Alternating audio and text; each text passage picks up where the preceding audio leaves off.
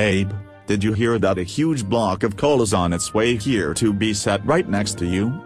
Really? Why is a 50,000 ton truck of black coal being sent to Mount Rushmore?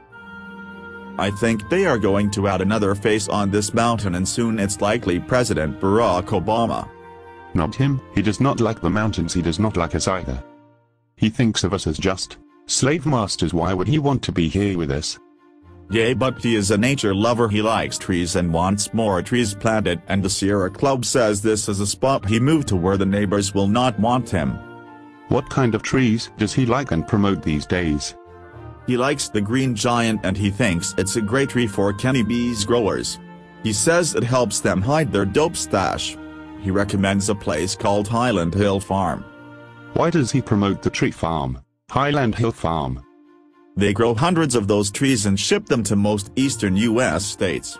Little do they know that the reason he wants Push Highland is he wants to increase their income so they can empty out their fields of these green trees. Why to empty the fields at Highland Hill Farm? So they are clear.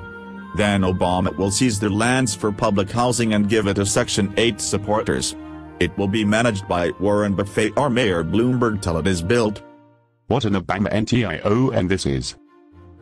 Yes he told this to Dennis Rodman that he learned this method of wealth redistribution in Africa studying under his dear friend Mugabe. How fast do the giants grow? They can grow up to 3 feet a year. Great I want some green giants to block him out when he becomes my neighbor I enjoyed being here for a long time and it's too difficult to move.